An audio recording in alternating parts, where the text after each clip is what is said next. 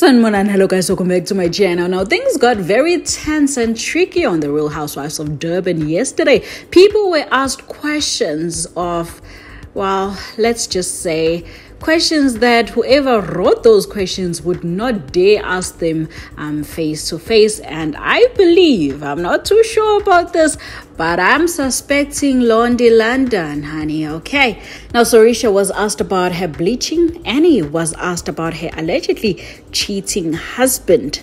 Lassie was asked where she originally stays because that looks like a rented house she's shooting at. And of course, who went there? Who went there, guys? London, London. Anyway, um, allegedly. Anyway, Nonku was asked on why did she ask Ayanda Ncwane for the damages or why did she take so long to ask for the damages? Why did she do it on the show?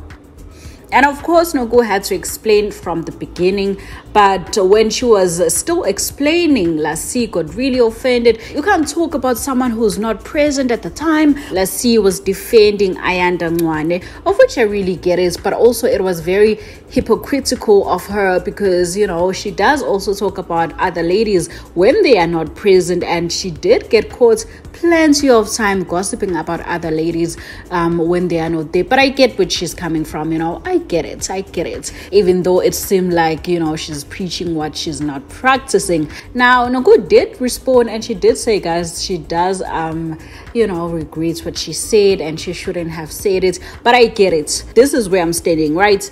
I believe that Nonku did not lie.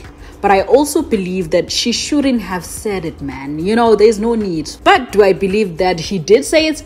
Absolutely. Sfiso Ncwane has plenty of kids outside his marriage, which he got when he was still married to Ayanda. So he was, you know, for the streets, even though Ayanda Shame is trying to um, protect his image at all cost but he was for the streets unfortunately. He was a gospel artist but he was also for the street honey. Now just take a look at this video. Um do let me know what you think in the comments section down below. So yeah sometimes i say things like out of the heat of the moment. Um i i twitter i'm not a twitter person but sometimes because especially because i haven't watched today's show so the book says but i from what i've read and I think ngiyakhumbula ukuthi oh scene le yabo? So I remember the scene very well.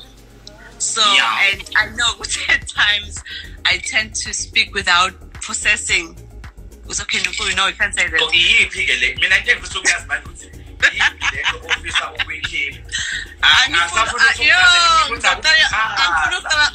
angifuna ukuqala ngifuna mina ukuthi wathi uyazi ngakwangameli ngisho Have you watched the show? Every episode. when I can let me hear from you. What what it mina ayikho into ozoyizwa kumina wena ngithi uNkulunkulu uyafika kwena mawuphuzile utshwala ebusuku wathi akuro akusho uyafika ke futhi akutshela ukuthi lento obuyiphahluka lapha ibi wrong no no no leyo nto ngirealize same time ngishilo ukuthi oops oops yabo same time same time like but you get but I have to tell my truth. It's okay. But you know what? So ngikhuluma iqiniso. Because okay. Iqiniso vele ke phela iqiniso lakho ngeke sifane iqiniso lami, ngifane neqiniso lami. Kodwa ke ngiyabonga ukuthi uyakhuluma iqiniso, but sengishela ukuthi njengomuntu ukuthi ish uyazi uyakwazi ukuyikhuza or uyishaye nawe ngemvubu. Uthi hayi kube wrong yazi. Ike la yiphi just one just one ke ngisho ngangasho yanamhlanje where you were like engeke bangangiyi wrong ngokusho lokho. okay khona okunye like okay for instance into ekatrenda kakhulu my statement was that's the, that's the truth yabo lapho bakayikhohlisa beyikhohlisa bathini bathini okusalayo wonke bade they cheat and i'm still maintaining that. I'm saying that online. All men cheat. Cha phela lapho nongo inkinga othi ngeke sikwazi ukuthi all men cheat bese siya accept. Ethi hayi okay. Umuntu nomuntu uyazama phela nabo bayakwazi lokho. Okay by saying i'm not saying ukuthi